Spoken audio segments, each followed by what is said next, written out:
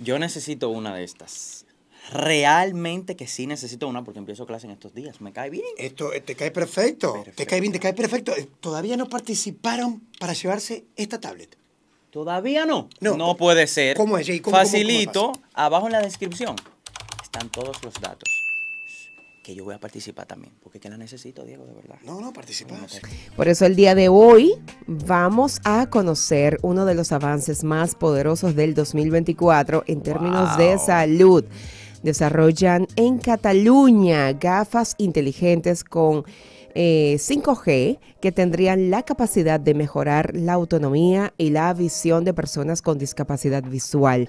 Las han probado recientemente en un paseo a pie y fueron anunciadas el pasado viernes 26 de este mismo mes. Qué bueno. Profesores de la FUT probaron recientemente las gafas inteligentes con una persona con baja visión a través de un recorrido urbano a pie por la Supermansa de Sant Antoni de Barcelona.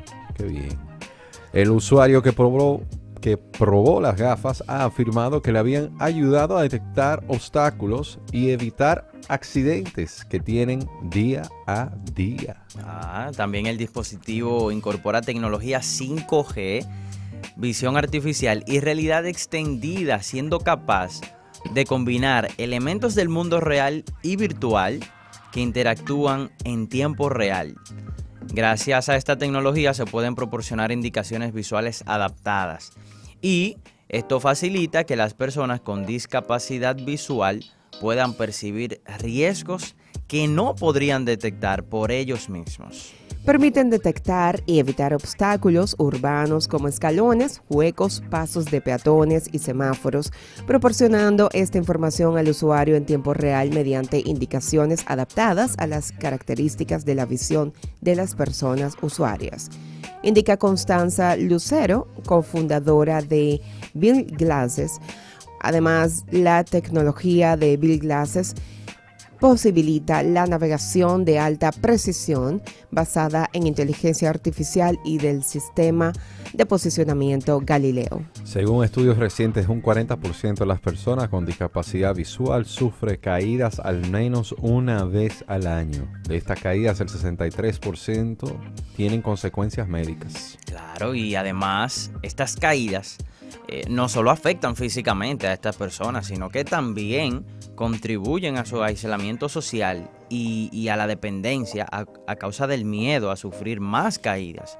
Y eso lo dijo Luis Pérez, que es profesor de la FUT, y también agregó que la falta de autonomía personal se traduce en un coste anual de más de 15 mil euros para las personas con discapacidad visual. Claro que sí.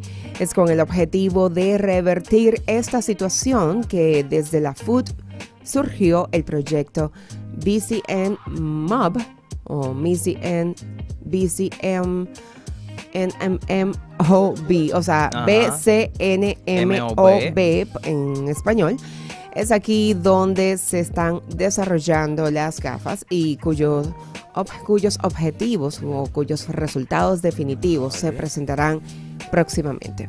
Mira qué bien, mira Qué qué, bueno. bien. Y, y ojalá que, que llegue aquí al país, ¿no? Claro, yo Sería entiendo bueno. que sí. Sería que sí. bueno. Yo entiendo que si Sería funciona buenísimo. bien y siguen trabajándolo, definitivamente este producto, o bueno, estos lentes pueden ser sumamente comerciables y se convierte ya en un producto Claro que comercial. sí, Claro, fantástico. Claro, y Sí. en, un, en un imprescindible para estas personas con discapacidad visual. Claro. Bueno. Estas son las Buenísimo. cosas eh, que hay que aplaudir de la tecnología. Estas son las cosas que sí queremos ver de, de los avances tecnológicos. Y que O sea como esto... no todo es malo, también hay cosas buenas. Sí, ahí lo más importante es celebrar a las personas que utilicen la tecnología para bien. Claro Claro, que para sí. sumar, para Sí. impactar positivamente, claro que sí. Sí, porque al final ahí es que está.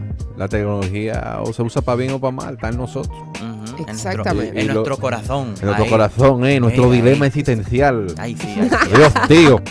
Ahí sí, ahí sí, ahí sí, ahí sí. No es fácil, no es fácil, pero qué bueno que hay gente que de bien y que quiere hacer Claro las que cosas sí, para el siempre bien. hay gente buena. También eh, está en darle la oportunidad a las personas que quieren hacer cosas buenas con las herramientas que tenemos hoy en día.